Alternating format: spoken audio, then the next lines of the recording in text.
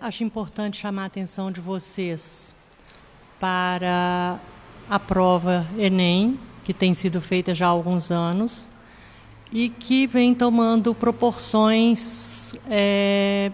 cada vez mais adaptadas ao contexto de ser uma prova de seleção para a vida acadêmica, para a vida universitária. É, nos anos anteriores, a prova privilegiava principalmente a inclusão, cobrando dos alunos conhecimentos básicos de língua portuguesa e de produção de texto. E nos últimos anos ela vem se aprimorando mais, não só na qualidade das questões, nas, nos critérios de correção e principalmente naquilo que vem sendo cobrado em matéria de língua portuguesa. Em matéria de língua portuguesa, ela é uma prova que atende às expectativas de um ensino de língua portuguesa de vanguarda, que valoriza, sobretudo, a diversidade da língua, a concepção da língua como um instrumento vivo de comunicação, é, a necessidade de o falante e o escritor em língua portuguesa saber se comunicar nas diversas situações de produção de texto, saber interpretar as diversas é, manifestações de escrita, como texto literário, texto informativo, dentro do texto informativo, os diversos gêneros, gênero jornalístico, científico, gênero de humor, é, a linguagem verbal e a não verbal. É, vem cobrando também uma diversidade muito grande de é, formas de manifestação. Então, a prova deste ano, que favoreceu mais o texto informativo que o literário,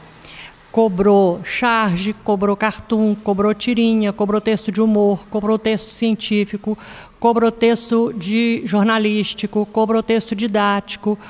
E o que mostra para nós que a prova de português tem um caráter bastante metalinguístico. O que, que significa isso? exige que o leitor e o escritor em língua portuguesa se volte para a língua como um instrumento de comunicação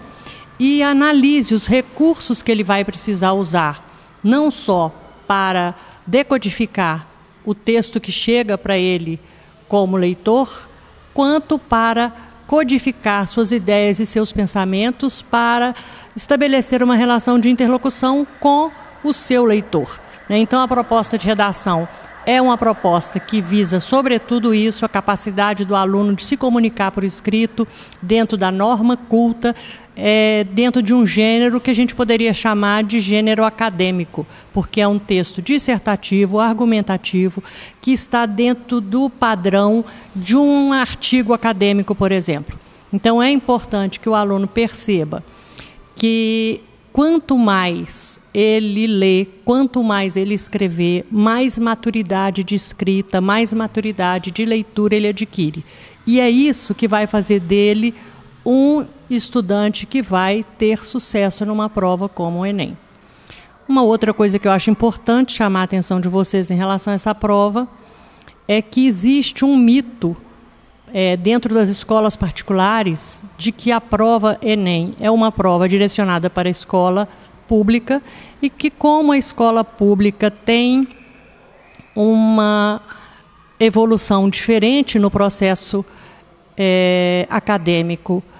em relação à escola particular, que os alunos que fazem escola particular vão encontrar mais facilidade na prova do que os alunos que fazem a escola pública. Isso é um engano, as dificuldades são as mesmas.